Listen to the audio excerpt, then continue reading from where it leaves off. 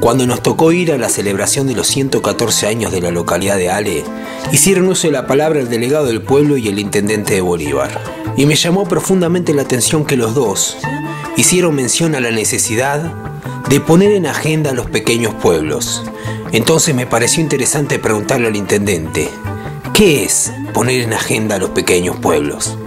Bueno, lo que nosotros hemos visto es que, históricamente los pueblos del interior de la provincia de Buenos Aires, las localidades pequeñas, de los partidos, como en el caso nuestro de Bolívar, eh, aquellas localidades que son menores a 4.000 habitantes, han sido postergados, postergados en materia de salud, postergados en materia de, infraestructura, de obra pública, de, ofertas culturales, de ofertas deportivas, eh, en recuperación de espacios públicos, en cuidado del patrimonio histórico y cultural. Eso significa eh, que un pueblo, una localidad no está en la agenda de gestión de, un intendente o de una intendente. Eso es lo que uno observa y, yo como intendente en el momento de asumir, y siempre lo dijimos, eh, queríamos realmente lograr un partido de Bolívar integrado.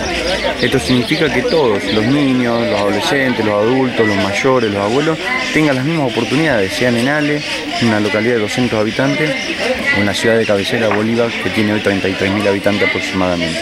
Eso significa poner agenda y eso es decisión política porque la decisión política es la aplicación del presupuesto municipal, que son recursos públicos que vienen de la recaudación de las tasas de los vecinos de Ale, de los vecinos de Bolívar, de los vecinos de Rampilleta, en el caso de Bolívar, de Pilovano, y después cómo se ejecuta, cómo se gasta, cómo se invierte, es una decisión política. Y nosotros queremos invertir de manera igualitaria, queremos gestionar de manera igualitaria. Yo cuando me junto con los ministros, sea de la provincia o de la nación, siempre gestiono obras también para las localidades, como el caso del agua de Ale. Ale es una localidad que está cumpliendo 114 años, que estamos viviendo el año 2012 y hoy los vecinos tienen que salir de su casa e ir hasta la esquina para poder recuperar agua de una canilla domiciliaria.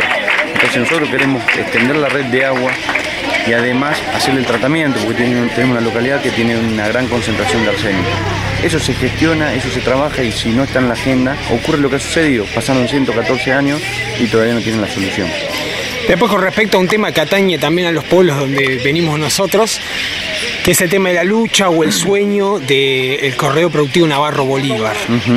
Bueno, sin lugar a duda, eso hay que trabajarlo, eso hay que trabajarlo, me parece que eso hay que pensarlo con una mirada no solamente local, sino también regional.